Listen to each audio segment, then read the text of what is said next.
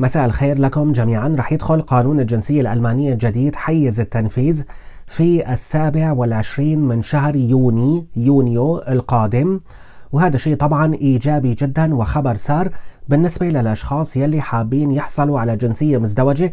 مو حابين يعني يستغنوا عن جنسية البلد الأم. وكمان خبر سار بالنسبة للأشخاص اللي حابين يقدموا على الجنسية بسرعة بعد خمس سنوات أو حتى بعد ثلاث سنوات في حالات الاندماج الخاصة. شرحت كل ما يتعلق بهي التفاصيل في فيديوهات سابقة. ولكن الشيء الجديد بأنه حكومة إشارة المرور عم بتخطط لحملة ترويجية لجواز السفر الألماني. عم بتخطط لتعمل دعايات يعني لجواز السفر الألماني. لحتى تجذب العمال المهرة لألمانيا. رح تنشئ الحكومة موقع إلكتروني باللغتين الإنجليزية والألمانية للتعريف بالتسهيلات فيما يتعلق بجواز السفر الألماني. فكل المعلومات فيما يتعلق بالحصول على الجنسية الألمانية رح تكون موجودة بهذا الموقع ورح يطبعوا كمان كتيبات صغيرة باللغتين الإنجليزية والألمانية لحتى يروجوا للجواز الألماني ليعملوا دعاية لجواز السفر الألماني. وكمان رح ينشروا على مواقع التواصل الاجتماعي مقابلات مع أشخاص حصلوا على الجنسية الألمانية لحتى يحكوا عن تجاربهم في الحصول على جواز السفر الألماني. وهي الحملة الترويجية لجواز السفر الألماني يلي عم بتخطط لها حكومة إشارة المرور أمبل كواليسيون ما كانت موجودة في تاريخ ألمانيا أبدا فهي حركة غير مسبوقة ولكن أغضبت المعارضة بشدة. فحزب الاتحاد الديمقراطي المسيحي عم بيقول بأنه حكومة إشارة المرور عم بتظاهر عم بتقلل من شأن جواز السفر الألماني.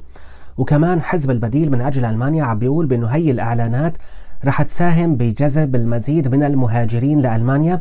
مو بس العمال المهرة يعني رح تجيب المهاجرين يلي حابين يدخلوا على النظام الاجتماعي بألمانيا حابين يحصلوا على المساعدات الاجتماعية وهدول الأشخاص رح يجيبوا معهم الصراعات تبعيتهم في البيئة تبعيتهم رح يصدروها لألمانيا.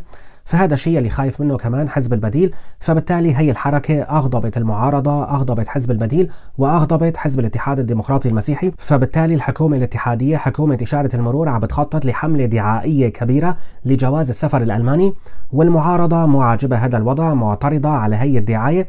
عم تعتبرها تقليل من شأن جواز السفر الألماني. ننتقل لخبرنا الثاني بفيديو اليوم. حكيت لكم في نشرة الأخبار قبل السابقة عن شاب غاضب خرج في مدينة فومس يوم السبت الفائت خرج للشارع نصف عار كان وكان في معه لوح خشبي بلش يكسر في السيارات بلش يضرب في السيارات فيبدو إنه تم طرده من حانة من كنايبة. فكان غاضب جدا يعني فبلش يضرب بالسيارات وكمان بلش يهين المارة. وهذا الشاب تم الكشف عن جنسيته وهو من إريتريا وفي عنده كمان سوابق كتيرة. فشرطة لازم تكون يعني حاططه في حجز الترحيل لازم يترحل ولكن هو يعني عم يفتل على راحته. فتسبب بمزيد من المشاكل. فالشرطة حضرت لحتى تلقي القبض عليه ولكن هو قاوم. فكان في يعني مشهد عنيف وصادم في الشارع والشرطة يعني سحبوا عليه المسدسات. ولكن هو ما بيستسلم فبشكل شجاع هجم عليه أحد المرة يعني انقض عليه أحد المرة وكمشوا من رقبته وثبتوا على الحيط فالشرطة قدرت أنه تعطيه صعقة كهربائية وتلقي القبض عليه. فتبين بأنه هذا الشاب هو تونسي يعني لأول الشاب تونسي يبلغ من العمر 39 عاما يعني كمان أجنبي. فبالتالي هذا الشيء إيجابي جدا يعني بأنه كمان شخص أجنبي ساعد في إلقاء القبض على الشاب الغاضب. وهو شاب تونسي يبلغ من العمر 39 عاما يدعى بلال. فتحياتنا كمان لبلال من هذا المنبر. يعني وسائل الإعلام الألمانية احتفلت ببلال لموقفه وحركته الشجاعة جدا في إلقاء القبض على الجاني على الشخص الغاضب في الشارع. فبلال الشاب الشجاع حكى بأنه هو يتدخل لحتى يمنع المهاجم من إيذاء الناس في الشارع. فكان موقف شجاع احتفلت فيه وسائل الإعلام الألمانية وفي هيك حالات بالعادة بتدخلوا الأجانب فعلا بألمانيا لما يعني بيكون في مهاجم وحدا حامل سكينة مثلا كمان فبالعادة بتدخلوا الأجانب لحتى يشلحوا السكينة لحتى يمنعوا يعني من حدوث المزيد من الإيذاء للناس في الشارع وحتى كمان يساعدوا الشرطة في إلقاء القبض على الجاني. فبالعادة الأجانب والمهاجرين بتدخلوا كمان بهيك شغلات فصح بيكون المهاجم بالعادة كمان أجنبي ولكن الشخص يلي بيساعد بإلقاء القبض على هدول المجرمين وعلى هدول الأشخاص يعني بيكونوا من الأجانب المهاجرين. وهذا شيء طبعا إيجابي جدا وبيدل على أنه هي المشاكل اللي عم بتصير هي حالات فردية ولا يجوز تعميمها على جميع المهاجرين واللاجئين.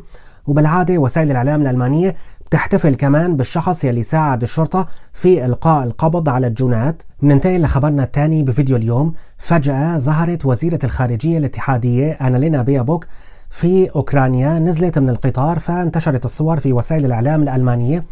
طبعا ما بيتم الإعلان عن هيك زيارات لأوكرانيا لأسباب أمنية فبيتم التكتم على هذا النوع من الزيارات. ففجأة ظهرت وزيرة الخارجية في أوكرانيا. والهدف الرئيسي من هي الزيارة هو تطمين الأوكرانيين بأنه ألمانيا ستستمر في دعم أوكرانيا. رح تضل يعني ألمانيا واقفة جنب أوكرانيا في هي الحرب مع روسيا. وحكت وزيرة الخارجية بيابوك كلام مهم جدا. حكت وقالت بأنه نحن سنفوز بهذه الحرب. وقالت كمان بأنه الرئيس الروسي فلاديمير بوتين عم يعتقد يعني أو عم بيعول بأنه نحن الهواء عنا سينفذ. يعني ما رح يكون في عنا صبر طويل رح نمل يعني وما رح نستمر في دعم أوكرانيا ولكن نحن نفسنا طويل جدا. فهذا الكلام يلي حكته وزيرة الخارجية وهي تطمينات للجانب الأوكراني. فألمانيا مستمرة في دعم أوكرانيا حتى الفوز بهذه الحرب. ولكن بصراحة بحسب ما نشرت وسائل الإعلام الألمانية فالوضع في أوكرانيا متراجع نوعا ما لصالح روسيا. ففي منطقة خاركيف يعني في ضربات جوية عنيفة عم بتمارسها روسيا وبشكل عام على البنى التحتية في أوكرانيا. ففي ضربات جوية عنيفة بالطائرات وطائرات بدون طيار والصواريخ. ففي تفوق جوي واضح لروسيا. فلهيك الأوكرانيين عم بيطالبوا ألمانيا بمزيد من الدفاعات الجوية. فالأوكرانيين بالفترة الحالية بحاجة ملحة للمزيد من أنظمة الدفاع الجوي والمزيد من الصواريخ المضادة للطائرات لحتى يتم صد الهجمات الجوية الروسية الكثيفة. وفعلا ألمانيا أعلنت عن المزيد من المساعدات العسكرية لأوكرانيا.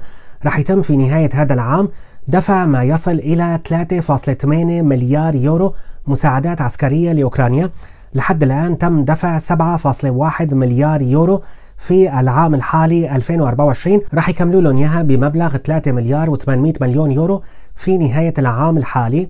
وبحسب وزير الدفاع الاتحادي بوريس بيستوريوس فميزانيته لأوكرانيا لعام 2025 راح تكون 15 مليار يورو فهو عم بيطالب يعني الحكومة الاتحادية بتخصيص 15 مليار يورو لأوكرانيا في عام 2025 ننتقل لخبرنا الأخير بفيديو اليوم بحسب ما نشرت وسائل الإعلام الألمانية ففي حاليا موجة من الدعاوى القضائية فيما يتعلق بالجنسية الألمانية ضد مكاتب التجنيس ففي عدد كبير من الدعاوى القضائية في المحاكم في مدينة إسن والسبب طبعا هو تأخر سلطات التجنيس في الرد على الطلبات يعني في دراسة الطلبات. ففي الآلاف من الطلبات المعلقة يلي لسه ما تم دراستها في المدينة فالمدينة مثقلة بالأعباء هي ومدن تانية كتيرة بألمانيا. فبالتالي عم تزداد الدعاوى القضائية في المحاكم ضد سلطات التجنيس للبت السريع في هي الطلبات. فبتقدروا مثل ما حكيت بفيديوهات سابقة وشرحت هذا الموضوع بالتفصيل. بتقدروا ترفعوا دعوى تقاعس Untätigkeitsklage ضد دائرة التجنيس لحتى ينبت بطلب التجنيس خلال عدة أسابيع. فبحسب ما تحدثت وسائل الإعلام الألمانية في حاليا موجة من الدعاوى القضائية في مدينة إسن فيبدو أن الناس ما بتتحمل فترات الانتظار الطويلة فعم تلجأ للمحاكم. بهيك بنكون وصلنا لنهاية فيديو اليوم وكالعادة حابب ذكركم بضرورة الاشتراك بالقناة فبتمنى أنكم تخصصوا ولو نصف دقيقة من وقتكم وتدخلوا على صفحتي الرئيسية على يوتيوب وتتأكدوا من أنكم ضاغطين على زر اشتراك subscribe abonnieren في حال عجبكم الفيديو كمان فاضغطوا على زر like واكتبوا تعليق أسفل الفيديو وشاركوا رابط الفيديو على مواقع التواصل الاجتماعي. كان معكم إلهام بوزان تبقوا بخير وصحة وسلامة. تحياتي لكم جميعا وشكرا لكرم المتابعة. وإلى اللقاء.